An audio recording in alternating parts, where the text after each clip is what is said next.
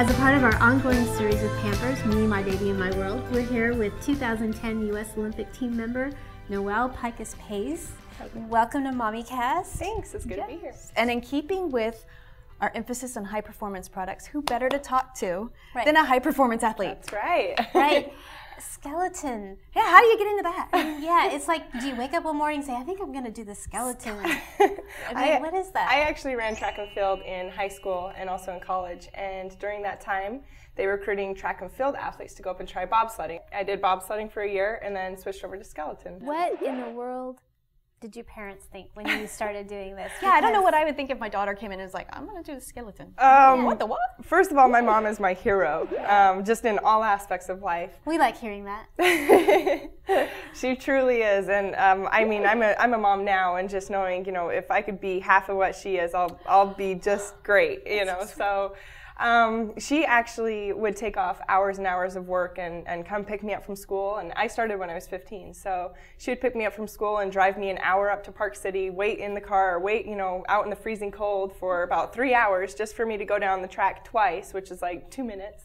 Yeah. And um, then she'd drive the hour back. I, I couldn't be here. You know, I couldn't have been an Olympian had it not been for my parents. So. Mm-hmm. Your daughter is two. Yeah, she is. Okay, so you had a pregnancy. Yeah. Not, yes. so, girl. You know, it, it, I think you're my hero because coming back from a pregnancy. Yeah. And then and getting in Olympic into shape. this kind of shape after the pregnancy. I mean, yeah. how'd you get in shape? Yeah.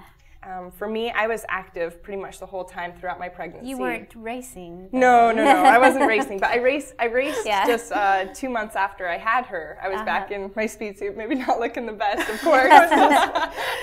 no video of that. Yeah, no footage of that. But um, but I was back competing two months after, and I really think that you know being able to stay active throughout my pregnancy, mm-hmm. just making sure that I was eating well, and um, you know having that um, before I got pregnant, it was easier to continue continue it throughout my pregnancy. But then beyond that, you know, you get past the pregnancy, then now you have a newborn and yeah. you have a little yeah. bit, and then you have to start how judging how much time. Yeah. yeah. yeah, It was hard. Yeah, it was really hard. Um, you know, and especially having this tiny little newborn, and I'm like, okay, I really have to get my workout in. Yeah, and and for me, I mean, being an Olympic athlete, we're gone for five to six months out of the year. So it was really, really hard.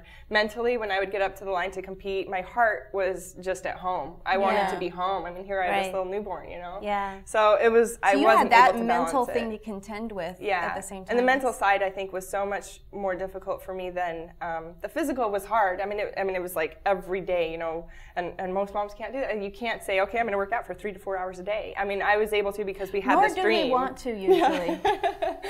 Um, it worked out, and I was just able to do it because I had that support system. Right. I don't think mm-hmm. I, there's no way I could have done it on you know on my own. how did how did it feel having them with you in Vancouver? Oh my gosh, it was yeah, a dream your face come just true. lit up. Yeah, your face just lit up. It was a dream come true. You know, um, it was so much fun to be able to race, and right when I'd cross the finish line, the first thing I would do is I'd look into the stands and be like blowing kisses to Lacee, and she'd be blowing kisses, and she'd be like, "Hi, mommy," and I'd be like waving, and they all you know had on the, oh, had the I US know. flags and, their the, hats. The hats. That, the I love the hats. hats. But yeah was like, I remember watching. I mean, before I knew that we were ever going to get to talk to you, I was yeah. like, look at her, so cute Isn't with it? that cute baby and husband, and you pull off your little thing, and you had your red, white, and blue hair and the ponytail. So now, great. as a physically fit mom, who and this has been a major part of your life forever. I mean, now you have a daughter, and hopefully you'll have more children, mm-hmm. and it's just you know one of those things. I mean, what are your thoughts and feelings about what what this is going to transfer into for your children?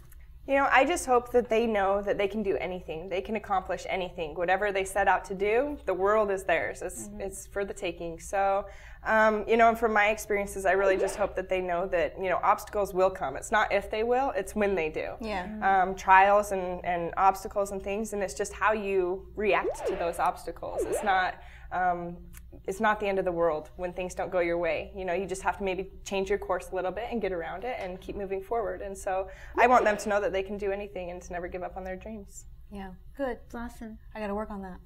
right. Well, thank you so much thank for taking the time to talk to us today. Thanks. It's been awesome. For more on Noelle, the Olympics, and Pampers, go to mommycast.com.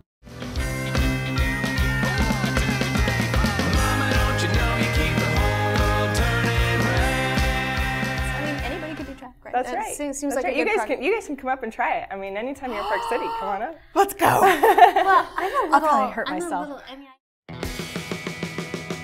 Playtime will never be the same again, thanks to new Pampers Cruisers with Drymax. They're not just 20% thinner, they're also two times drier. It's next generation dryness. New Cruisers with Drymax. So playtime never ends. Only from Pampers.